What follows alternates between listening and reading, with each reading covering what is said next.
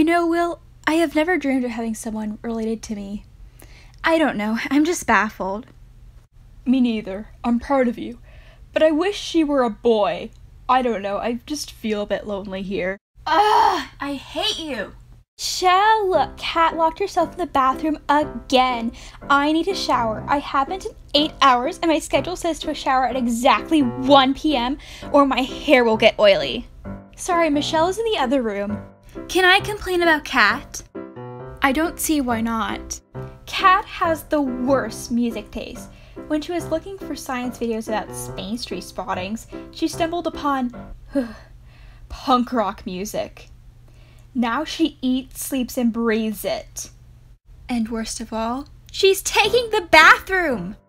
So, I don't see what's wrong with it. Sup, guys? Like my new fit? Get those unfashionable styles away from me! Yeah, that slang could use some work. Whoa, what happened? So there I was, watching videos on how to catch a space tree one fine Sunday afternoon, until YouTube recommends me a song called Fire of My Love by Red Rose, and I fell in love! I'm a changed girl, and I'll never be the same again. Does that mean you're done with astrology? Heck no! It means I'll eat, sleep, and breathe punk rock music, like an obsessed basket case, which is also a song by Green Day.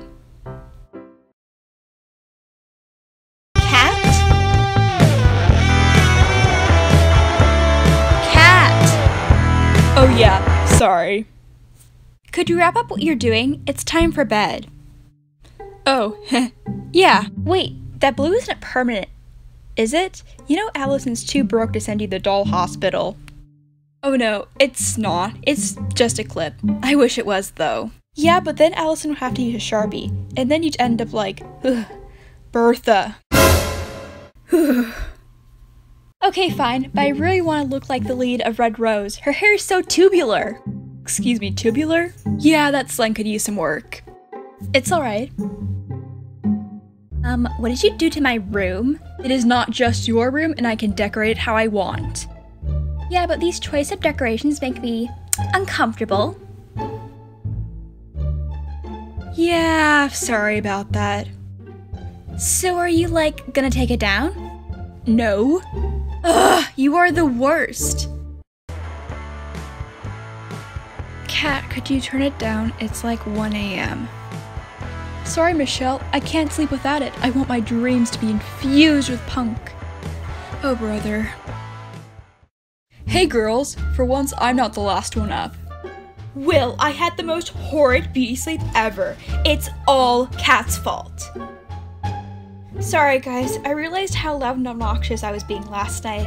From now on, I hope to give up punk entirely. No, just to tone it down. I promise not to disrupt any more sleep. Sorry if I got a little too carried away with this. It's alright, we forgive you. Thanks.